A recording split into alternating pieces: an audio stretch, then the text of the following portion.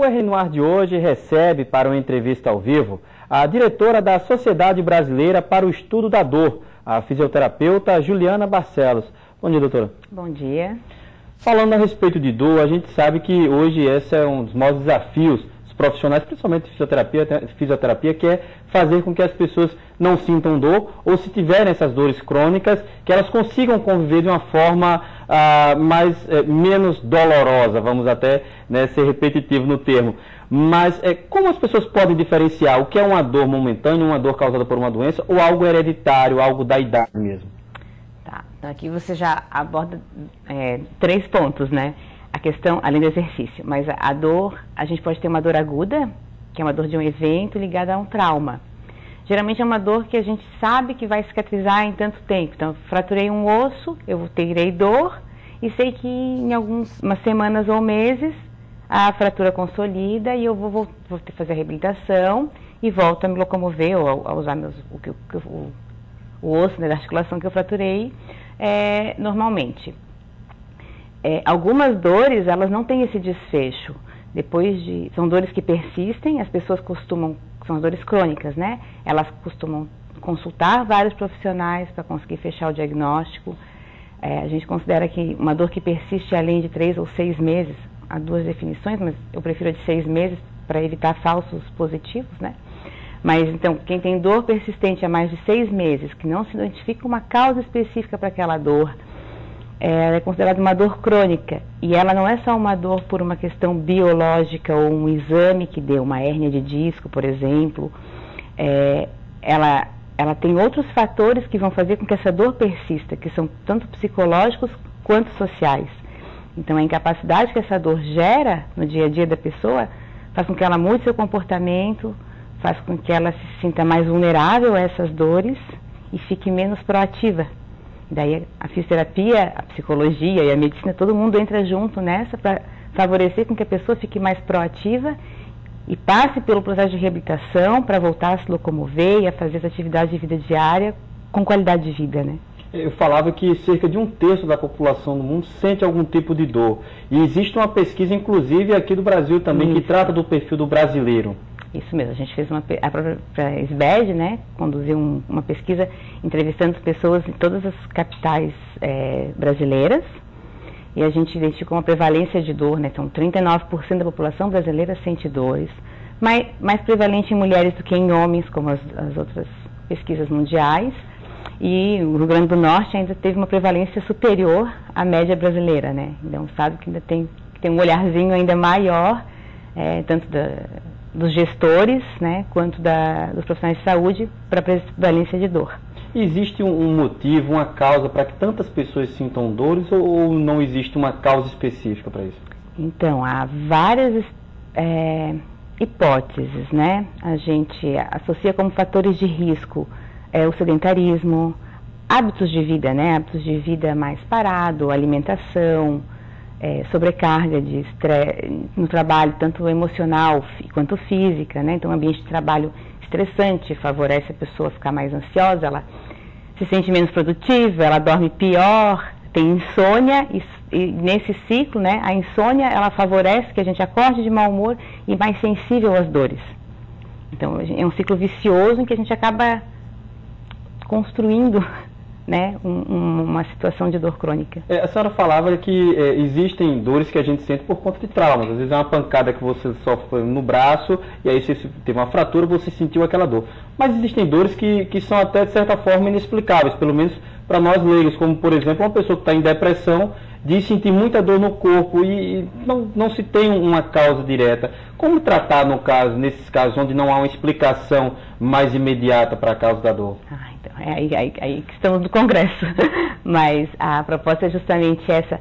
A dor aguda, ela não é. Ela é um desafio para a saúde, por ser tratada, mas ela é um pouco menos desafiadora que a dor crônica, justamente porque, tanto como a depressão, outras condições crônicas, né? A fibromialgia, a pessoa faz vários exames e ela relata ter dores no corpo todo.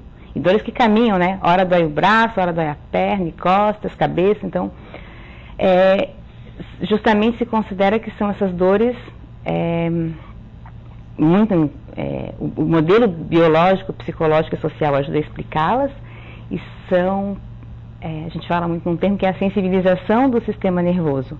Quando a gente tem muito tempo um estímulo de dor ou a própria depressão, ela faz uma mudança química dentro do córtex, né, dentro do, do cérebro, é, no encéfalo, na cabeça, assim, e eles mudam como, essa, como ocorrem essas interações químicas ali. Os neurôniozinhos conversam diferente entre eles e faz com que a gente acabe sendo mais sensível à dor. Só, é mais ou menos como o exemplo que eu te dei de quem não dorme bem e já acorda de mau humor e mais sensível a, a, a, ao ambiente, né? Até a dor. Se a gente fizer testes de dor experimental, a pessoa é mais sensível. E nesses casos, né, é, existe, você citou a fibromialgia, existe uma forma de, de, tratar isso? Como é que é tratado? Como é que a pessoa, ou a pessoa apenas tem, tem que aprender a conviver com essa dor ao longo desse período? Então, algumas pessoas falam muito em conviver. Na realidade, a gente é, empodera o paciente de várias estratégias para que ele consiga minimizar as crises de dor e a frequência delas e a intensidade delas. E isso envolve um tratamento tanto com a, com a medicina, né, com a farmacologia, com os químicos que vão ser colocados para o corpo para ajudar esse desequilíbrio, com a psicologia, como é que ela vai lidar com as situações, porque quando você está sempre com dor, você se sente vulnerável a ela e não, tem nem estratégias. Você se acha até incapaz de, de conseguir executar aquilo. E, é, e com exercício físico, e a gente sabe, né, puxando um pouquinho para o meu lado para a fisioterapia, mas a gente sabe que a prática de exercício físico regular, a pessoa é muito sensível à dor e quanto mais ela vai praticando exercício, menos o corpo fica sensível a essas dores. Então a gente treina o corpo a sentir menos dores. Antigamente, quando a gente falava de dor, doutora Juliana, sempre falava assim, a ah, dor é por conta da idade, é porque já está numa idade avançada, com 60, 70 anos. Mas hoje não, hoje muito jovem e talvez cada vez mais sintam essas dores. É, é mudança de hábito? É, é a questão da alimentação? Por que, que tantos jovens agora estão reclamando de tanta dor pelo corpo? Então, é, a gente realmente tem uma prevalência muito alta entre adultos, né? Na, e na, é no pico da idade produtiva, aí, né? 35, 45 anos, quando a gente está no boom da carreira, um monte de gente vem e recebe esse, essas dores crônicas no, no pacote. Mas são dores diferentes, as dores que a gente tem, embora a gente puxe, né? As artroses eram mais tarde, agora elas são mais precoces né? Elas começam a acontecer antes, né? A degeneração das articulações.